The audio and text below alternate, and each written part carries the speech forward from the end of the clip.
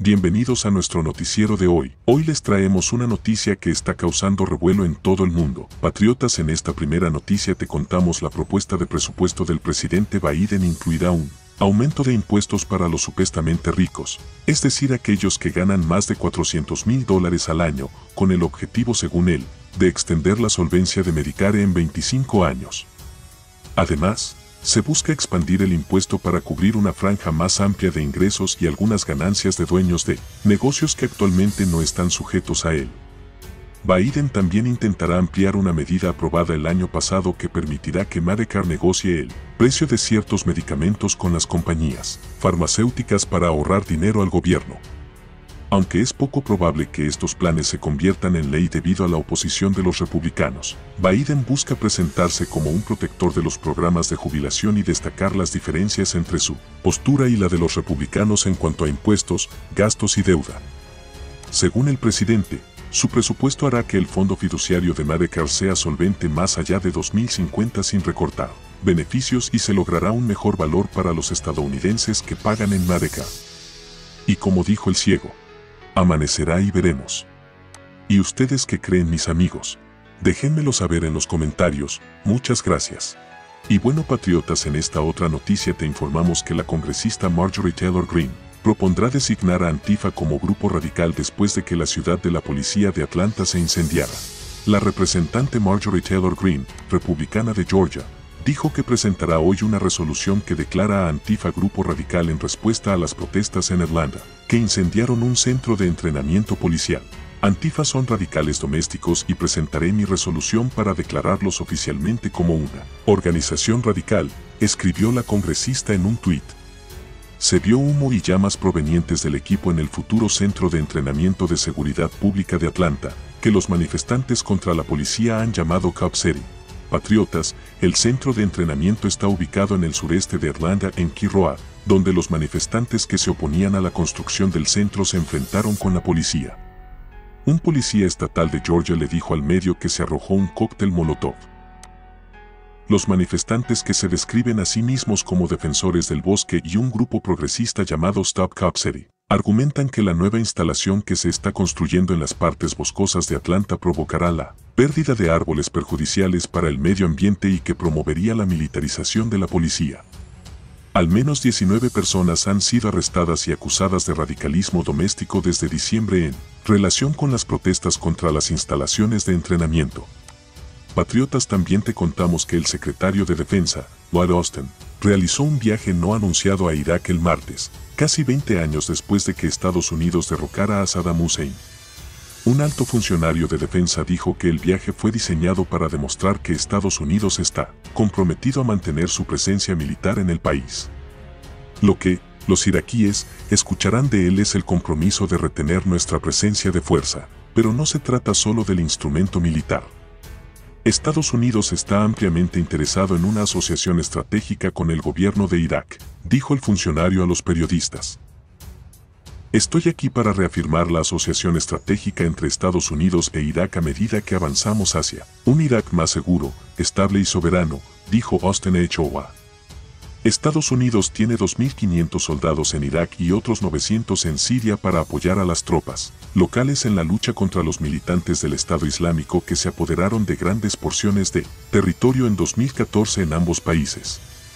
El viaje también se realizó para apoyar los esfuerzos del primer ministro iraquí, Mohammed al-Sudani, contra la influencia iraní en el país. Es que amigos, la milicia respaldada por Irán en Irak confrontó a las fuerzas estadounidenses y su embajada en Bagdad con cohetes en el pasado. Estados Unidos e Irán se acercaron a un conflicto en toda regla en 2020 después de que Estados Unidos acabara al comandante de la Guardia Revolucionaria de Irán, Qasem Soleimani, con un dron. Creo que los líderes iraquíes comparten nuestro interés en que Irak no se convierta en un campo de juego para el conflicto entre Estados Unidos e Irán, dijo el funcionario de defensa. Bienvenidos a nuestro canal de noticias, donde te mantenemos al tanto de los últimos acontecimientos del mundo. Hoy traemos una noticia que ha generado controversia y debate en los Estados Unidos. Según fuentes cercanas al gobierno de Biden, se está evaluando la posibilidad de retomar la detención de familias migrantes que crucen la frontera de manera ilegal. Esta medida, que fue implementada durante el gobierno de Trump y luego suspendida por el gobierno de Biden, ha sido criticada por defensores de los derechos humanos y organizaciones que luchan por la protección de los migrantes. La detención de familias migrantes en centros de detención ha sido calificada como inhumana e injusta, y ha sido objeto de múltiples denuncias de abusos y maltratos. Los defensores de los derechos humanos han pedido al gobierno de Biden que abandone esta medida y busque alternativas más humanitarias para abordar el problema de la migración. Sin embargo, la administración de Biden ha argumentado que la retención de familias migrantes es necesaria para evitar que se produzca un aumento en la cantidad de migrantes que cruzan la frontera de manera ilegal. El gobierno ha prometido que, en caso de que se decida implementar esta medida, se hará con la mayor transparencia y se garantizará que se respeten los derechos de los migrantes. Esta noticia ha generado un intenso debate en los Estados Unidos y ha sido objeto de atención por parte de los medios de comunicación y organizaciones de derechos humanos. El futuro de la política migratoria de la administración de Biden es incierto, y se espera que las próximas semanas sean cruciales para determinar el rumbo que tomará el gobierno en este tema. Mantente al tanto de esta noticia y otras más en nuestro canal de noticias. No olvides suscribirte y activar las notificaciones para no perderte ninguna de nuestras actualizaciones. Hoy hablaremos sobre la preocupación creciente en los Estados Unidos acerca de la presencia de grúas espías chinas en los puertos del país. La Casa Blanca ha emitido un comunicado sobre este tema y aquí les presentamos los detalles. Según varios reportes, China estaría utilizando grúas en los puertos de los Estados Unidos para recopilar información sensible sobre las operaciones portuarias y comerciales del país. Algunos expertos en seguridad han advertido que esto podría representar una amenaza para la seguridad nacional y la economía del país. Ante esta preocupación, la Casa Blanca ha emitido un comunicado en el que afirma estar al tanto de los informes sobre la presencia de estas grúas espías chinas. El gobierno estadounidense ha asegurado estar trabajando de cerca con las autoridades portuarias y de seguridad para garantizar la protección de la información y los intereses del país. El comunicado también hace un llamado a la comunidad internacional para que se unan a los esfuerzos por garantizar la seguridad de los puertos y la protección de los datos comerciales y de seguridad. La Casa Blanca ha subrayado la importancia de la cooperación global para enfrentar las amenazas a la seguridad nacional y la economía mundial. Este tema ha generado una gran preocupación en los Estados Unidos y en la comunidad internacional, y se espera que se siga hablando de ello en los próximos días y semanas. Esperamos que las autoridades continúen trabajando juntas para garantizar la seguridad y protección de los puertos y la información sensible del país. Gracias por seguirnos. Y no se olviden de compartir este video para que más personas se informen sobre este importante tema. Entre otras noticias, les traemos una noticia que ha capturado la atención del mundo entero. La extracción exitosa de una lesión en el pecho de Joe Biden, presidente de los Estados Unidos, de un tipo común de cáncer de piel. El equipo médico del presidente confirmó que se trató de un carcinoma vasocelular,